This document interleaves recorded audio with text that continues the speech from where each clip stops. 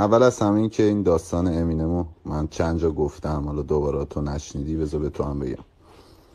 خب ما یاد گرفتیم که رپرهایی که توی یه مسیریم همدیگه رو برادر صدا کنیم. حالا چه لهستانی باشه چه امریکایی باشه چه آلمانی باشه چه ایرانی باشه چه افغانی باشه هیچ فرقی نمی‌کنه. به نظرم توی مسیریم چه ترک باشه اصلا هیچ فرقی نمی‌کنه. خب این از این. حالا اینکه من گفتم برادرمه تو دیگه جو نگیرتت بگم مثلا فلان اینا. این اصلا زیاد جالب نیست این حرفا رو بزنی.